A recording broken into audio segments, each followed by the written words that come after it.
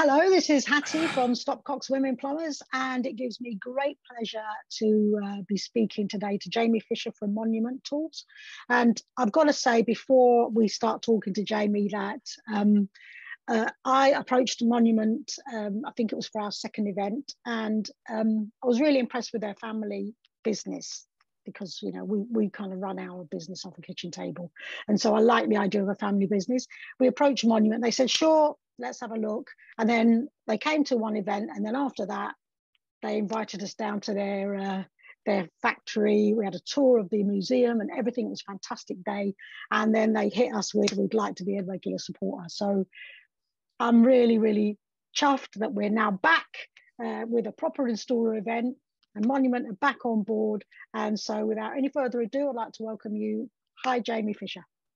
Hi, Hattie. How you doing? Yeah, I'm very well. Thank you very much. Um, I hope that introduction um, suited your beard. Ab- absolutely. Yeah, it was as, it was as big as the beard. Um, yeah, it's, it's interesting being in an industry where people don't know your name, but it, they they recognise you wherever you go. um, so, can I let's uh, let's let's just dive straight in. Can I ask you why do you think it's important, in your own opinion or your own words, why do you think it's important for us to get more women into this industry? I've been in it since the beginning, really. My, I was brought up by my mum and my sister, so I had a heavy female influence in things growing up, but at the same time had a a very domineering father, mother and father divorced when I was was young, who was a sales director for a printing firm. So I sort of got a great work ethic, but an understanding of the fact that my sister found it harder to do things that I did. Um, and it was, yeah, not really right for me. Um, and as I've gone through construction and, and managed teams over the years, I've always stood out a little bit because most of my teams, if not all of them, have been a sort of 50 50 mix on a gender basis. Because for me, it's the right way to do it. You can't be doing one you know, it, it's just a natural thing for me. And I am very conscious, and a colleague of mine, uh, a fellow liveryman in the Worshipful Company of Plumbers, uh, a lady who'd been in, in plumbing for many, many years, running a business down Reading Way, um, described our industry as pale, male, and stale. Um, and I don't think she was far off, to be fair. You know, there are a prevalence of balding men in their 40s, 50s, and early 60s, um, to which I am now part of that club, although 20 years ago I wasn't. Um, and it just makes sense to me to have the right person for the job, irrespective of gender. Uh, and I think, as Ray Stafford said in a previous interview, if you discount 50% of the population just based on gender, then you're a bit silly, really, because you you know you are you, are fishing in a very shallow pond. Mm-hmm. Um, and that's never made sense to me not in any industry yeah. um, but also i suppose starting my career in retail with sainsbury's it was completely the other way around you know, I worked on um, replenishment shifts in the evening, to which there were five lads and 47 ladies. Um, and, you know, it, it just, yeah, it's always made sense to me to be equal. Well, of course, I came from a teaching background where it was all women. Yeah, I've never understood that either. My both my kids are, are in school now. Um, they're five and seven, and when we went round the local junior school, infant school to start off with, they had a 50 50 split across mm. reception and junior. And it was one of the reasons, many reasons, we, we opted for that school. Um, unfortunately, for, for, for several reasons, including somebody burnt the school down at the beginning of lockdown, unfortunately, and teachers moved away that's now not the case and i'm a little mm. bit disappointed but looking forward to them going up to the junior school where there are more male teachers because there should be a mix yeah, you know kid, yeah, um, kids should yeah, from, uh, should uh, learn from both. I mean, there's lots of evidence to show um, that um, women in particular learn better if they're in a if they're in a women only environment. But that yep. I don't think I think that um, once you've learned done your learning, you need to get out into the world straight away because the real world isn't you know isn't like that is it so no. I've, all, I've i've often been against kind of separatist type activities um, simply because of that reason, because it's not the real world. But I do really believe that we have to, uh, and the reason why we started the WIT was because women were so isolated and so far apart from each other. And also because I, I'd been plumbing for 16 years before I met another woman who was a plumber. And I listen to some people now and they, and they have not, not met another woman. So it's very different to tradesmen because I, I don't know a single tradesman who doesn't know another tradesman. But I know loads of tradeswomen who don't know other tradeswomen apart from obviously me. Yeah, uh, and, and, and it's yeah, it's just it's just not right. I, I grew up on scaffolding as a kid. My stepdad was a roofer, um, and I can't remember seeing a single woman in a in a builder's merchant. You know, there was certainly none in the trades back in the sort of early nine, early eighties, even. Mm. You know, mm. it's and and I didn't sort of understand why. I was always inquisitive because you know, mum always worked. Um, but the separation of, of the industries, I sort of, I sort of didn't didn't see the logic in it, not mm, even I mean, as a kid. I, I got it at school because I wanted to do engineering when I was at school, and they basically told me it was a, that was a boys' subject, and I wasn't allowed to do it. it's crazy. Whereas, it's really whereas, crazy. but I think you still get it now, and, and and one reason I've sort of got involved in in education within our industry. So I sit on a couple of bodies and boards to do with education and technical training because when I was at school, engineering and let's call let's say plumbing, so the trades, mm. irrespective of gender, were considered to be probably very low down on the um, you know the sort of desire list for teachers when they were talking careers mm. um, and it was almost as though well that's the sort of thing that johnny in the corner does you know the, the, the, the one that's not as academically gifted as everybody else now the successful tradespeople i know would dance circles around me when it came to you know maths and practical subjects because they just do these things off the top of their head mm. but you know maybe they didn't like humanities and geography and history neither did i particularly um but it but it's but it's wrong so so whether it's yeah. male or female i think we should be doing a lot more at school to encourage people into the trades mm. I, I, I completely agree with you i completely agree with you and i think that um it needs to start earlier than secondary school is my, yes, my opinion. absolutely yeah. Because the seed needs to be in there and um i because I, I, when i was when i was 18 i never wanted to be a plumber. I wanted to i wanted to i, I basically wanted to fit in with everyone. It was only uh, when I got a bit older that I wanted to differentiate myself. So we go, as humans, we go through these different processes, you know, where we, first of all, we need to differentiate ourselves from our parents. And that's when we get rebellious. And then, yeah. then we, we want to be the same as our peers. And then as we get a bit older, we want to be, we want to stand out from our peers. So that kind of followed me uh, when I was 16, I didn't want to do, I didn't, you know, I didn't want to step outside.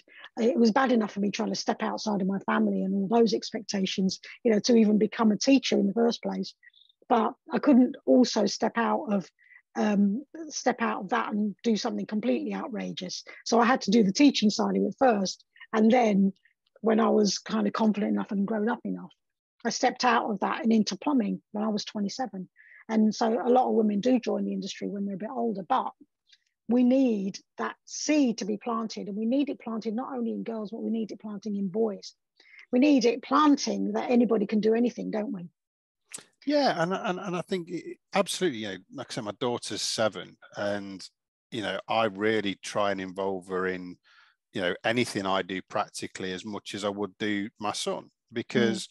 you know whether it's fixing a bike or building a chair one of the best photographs I've got of her is sort of 18 months old, two years old, with a little plastic Bosch toolkit, you know, helping make her little IKEA chair and oh, table oh, because she just she wanted to, you know, and you know, everybody's got the same level of curiosity. And if people are exposed to the same thing, they then get the same opportunity.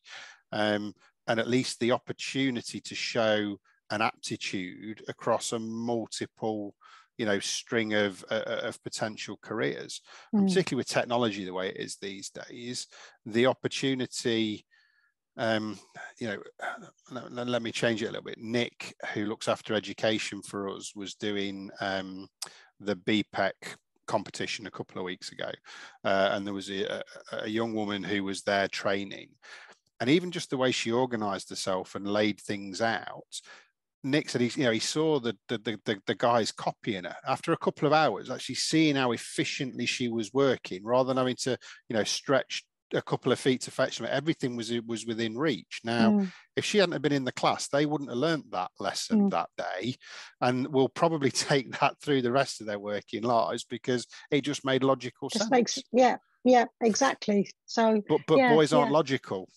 we're, we're we're just not.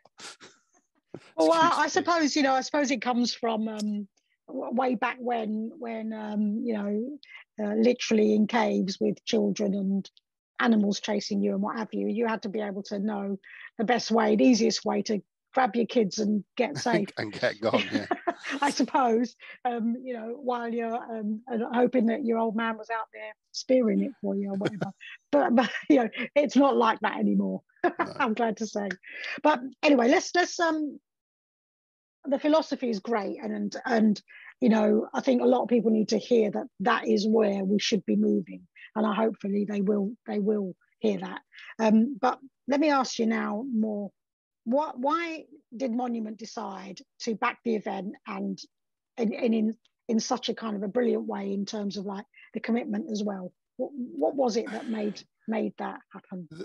There's a couple of things. Firstly, we're not a short-term commitment sort of company. Um, we've been around since 1818. We're a fifth generation business. Um, and it has taught me patience that I would never have been able to experience working for corporate businesses where you're only as good as yesterday's number and you're absolutely held account to tomorrow's number. That's not mm-hmm. the way we work. Mm-hmm. We understand that things take time.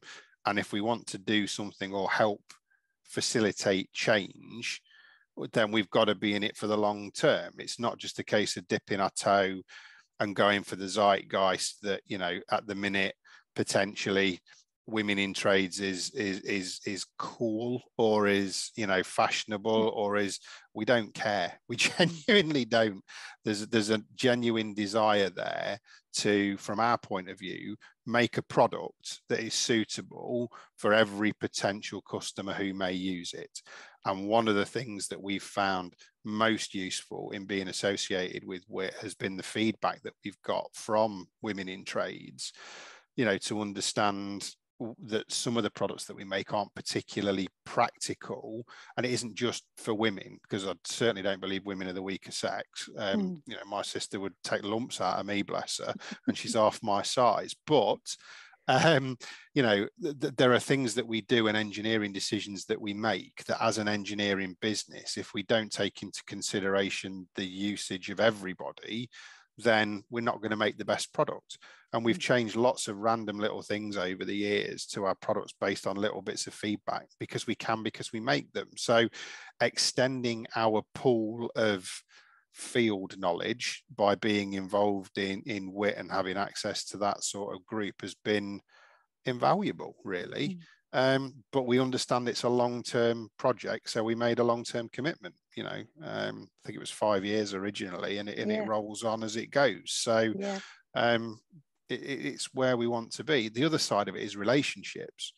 You know, um, UI and Hattie have, have sorry, Micah have, have, have have hit it off and get uh, get on okay that that might not have been the case it might have mm. taken a couple of years for for you know for, for relationships to develop as they do and as mm. all relationships you have your ups you have your downs and if you're not committing to things for a long term then you, you don't get the best out of them you know yeah. you, you wouldn't go into marriage saying oh well we'll give it 12 months and see how it works out um, i'm not a fan of wedding cake so no i am either well, um, I think that's um, yeah, yeah, uh, great, and I, think that that it is a long game because you know th- there are there aren't there isn't a pool of you know ten thousand women waiting to come into this industry. It's going to be a slow trickle, and we're going to have to just keep working on it and keep something and create something that was sustainable and hopefully um, you know with with uh, regular commitments from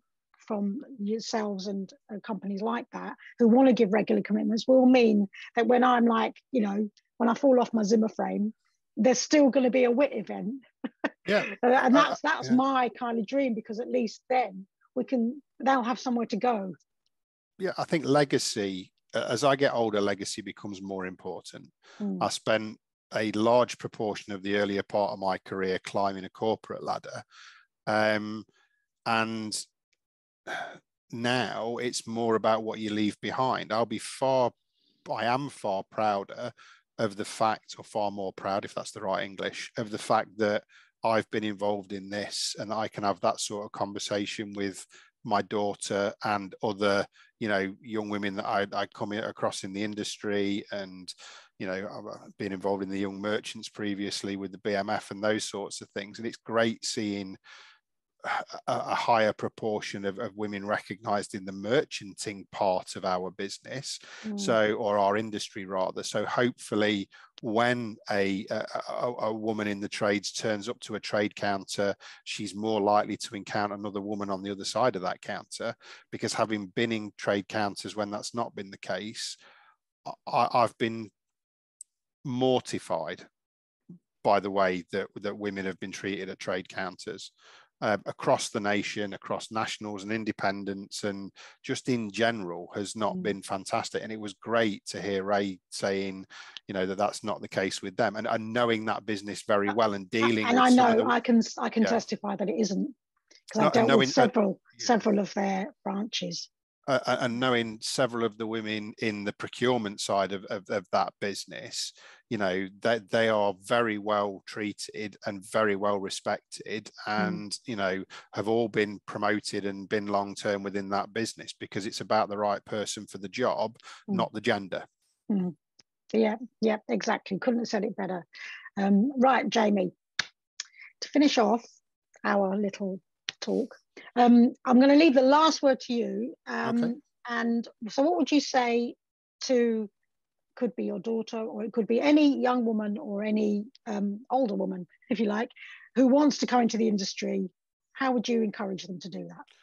I would encourage them to seek the advice of, of women in trades and to get some peer advice uh, because it doesn't matter how many men they know in the trades, whether their father's a plumber or whatever else, it's never quite going to be the same. You know, you can go on the tools with your dad at the weekend and learn what it's like. Um, but if you're going into a trade counter with your dad who's been a customer of that merchant for the last 20 years, you are going to get treated differently to when you walk in on your own. So, you know, bear that in mind that you want some honest and open feedback and understand what it's going to be like the next side of it would be is understand it's a business it's particularly if you're looking to go out on your own you know understand that you need to learn as much about running a business as you do about hanging a radiator or fitting a boiler because our industry in general irrespective of the gender of, of the individual my view is they don't get enough training in business and a lot of those businesses fail early doors mm. because they don't understand things like public liability insurance they don't charge for um, providing an estimate as soon as you walk out the door and you get in your van, it's costing you money, whether that's mm. diesel or time that you can't be doing another job. So understanding it as a business. And then when you do that, there is a lot of money to be mm. made in our industry doing it properly. But there's also a tendency to be too nice and give things away. So, you know, if I could say establish a business plan early days, and there are quite a few very good people out there to speak to about that. And if anyone not wants to us, talk to me, obviously. not least you guys, absolutely. Mm. You know, that's that's the whole model that you set yourselves up on, and what yeah. really warmed us to to what it was that you did. It wasn't. And I'm, I'm not going to drop any trade names, but it, it wasn't just a female X. You weren't mm. just trying to be another facilities management company. I'm trying really hard not to name names, um, but you know, but just for women. That's you've mm. taken a completely unique start from scratch slant on it, and yeah, that that would be it. You know, but mm. do your research, understand what you're doing, and understand the advantages of it. Working for yourself is fantastic. You mm. know, I love the job that I do, but at 46 now, um, you know, staring back across a career where I've always worked for other people, I probably would have made changes early yeah. doors. Yeah. Working for yourself is great but you've got yeah. to know what you're doing. Yeah, yeah.